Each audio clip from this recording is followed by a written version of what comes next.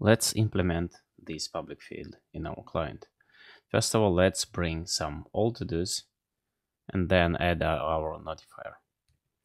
So let's first of all try it here. Let's define our query here. Let's call it get old public to-dos. We'll have a, var a variable called oldest to-do ID of type integer.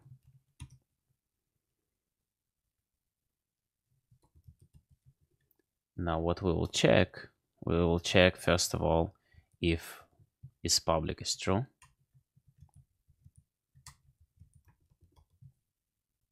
Also, we will check our ID to be lower than our oldest to-do ID.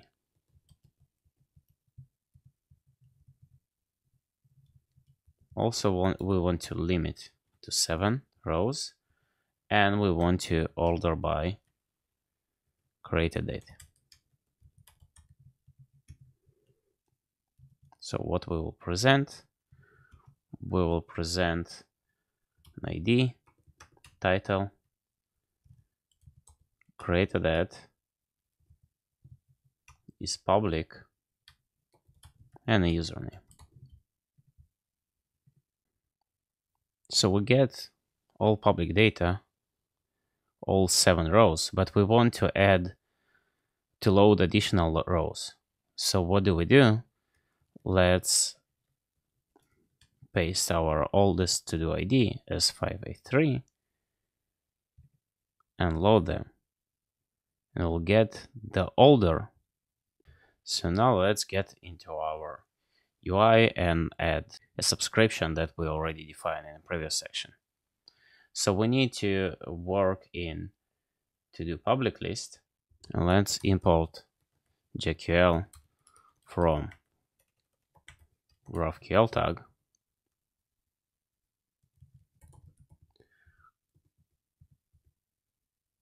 Our notify new public to do to do's will be the one we defined in the previous section and we also have the get old public to do's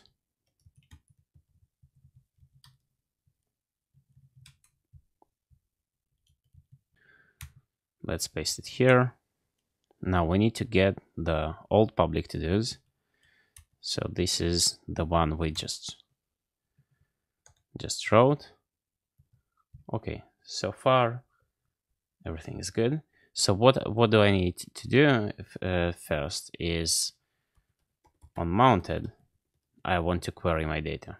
I will call Apollo query. And inside I will pass the actual query for getting all public to-dos that I just created. Now this one will be without any variables. And because the, the variable is not mandatory, then I will get just the latest public to this, which is fine. That's, that's what I want. Now, whenever this is finished, I get the data, right? Now, let's destructure data from what we get. And inside, we want to start our notif notifier subscription. Will subscribe. And subscription query will be notify new public to dos. Now this one have a subscribe method inside. I will also destructure the data whenever we have the result basically. Um, I check the to-dos length. Meaning if we have to-dos at all, if we, we re receive them, we check that, then we check if the first to-do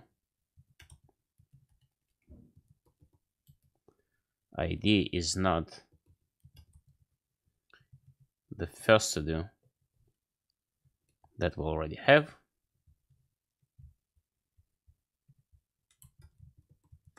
let's say that equal this here then our new to-dos count will be count plus data to-dos length. And whenever we have an error, we can simply console log this error.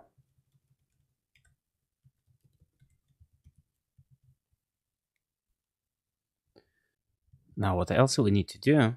We need to update our to-dos to be from data to-dos. Let's see that it's working.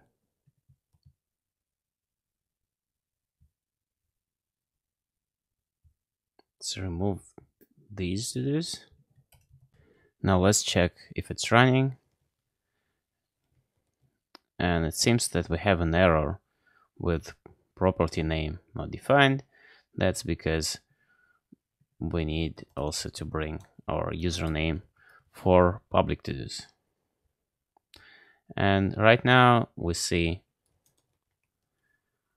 public to dos are working and we see our counter is updating. So what else we need to do? We need to go to our new to dos count and set it as zero. Let's reload that.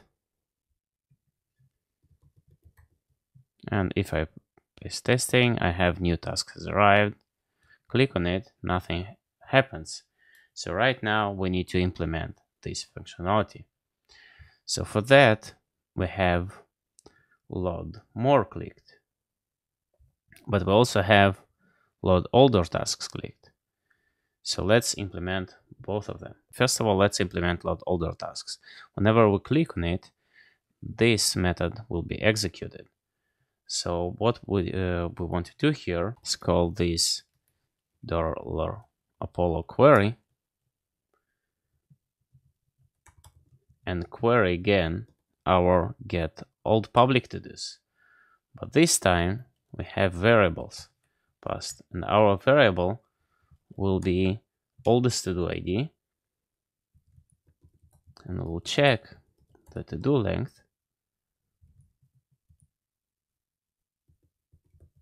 and if we have to do's then our latest to do will be length minus 1 and we need to grab an ID so basically we're loading all the all to do's from uh, last uh, loaded ID and um, and older. So otherwise, we just don't pass any variable. So now whenever this will be executed, and we get the data from it,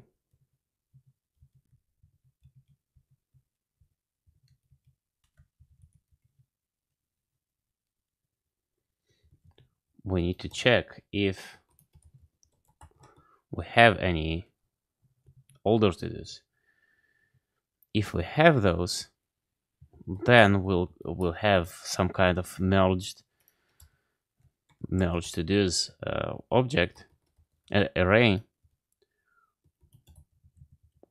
where we will concat our to dos to to dos the to dos that we received to to dos that we already have.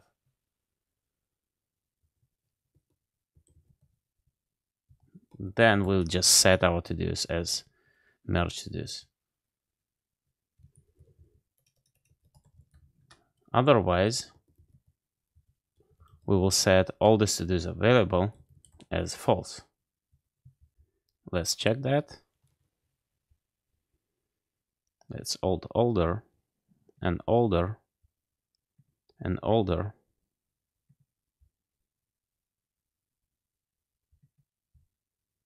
and you can see this is bunch of various users playing around with older tasks with uh, with public to dos. Now the reason we don't see online user here is because we have 30 second interval for updating. So right now the only thing is left to add to our app is add new public to dos. And we already have this notifier. So we, we actually need to implement load more clicked function. So first of all, whenever we click that, let's set our new to-dos count as zero. Then we'll do this Apollo, this dollar Apollo query, and we'll query our new public to-dos. It's a new um, query that we haven't created yet. Let's actually create that in GraphiQL. The query will be get new public to-dos. And we have latest to-do visible ID as an integer. Now inside we will simply query query to do and we'll provide it with where where clause. First of all, we'll just add is public equal to true, similar that we had previously. And we'll also have our ID greater than this time to latest to do visible ID. As you can see, it's pretty much the same idea as uh, load older to-dos. Now, in addition to that, I want also to order by create a in descending manner. Now I, I want to show ID, title, create a is public and a username. Let's just copy that and create our function here. We called it get new public to dos. get new public to dos gql and then I just copy paste my query here. So back to our load new to dos function, load more clicked function, we query get new public to dos and we also need to pass variables, right? So our variables will be latest to do visible ID and this will be equal to do if we have to do's then it will be the first to do's in the list because they are or already otherwise it will be just null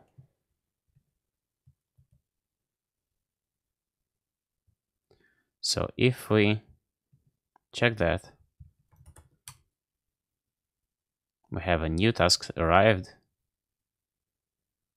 We click on that, nothing happened because we need to provide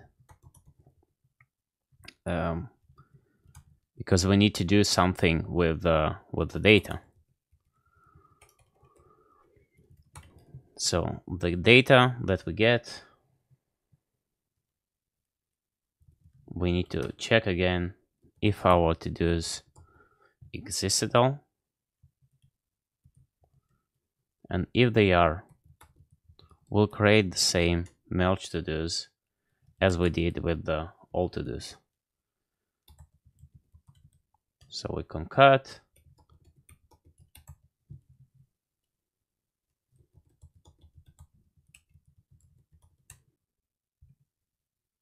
Let's check if it's working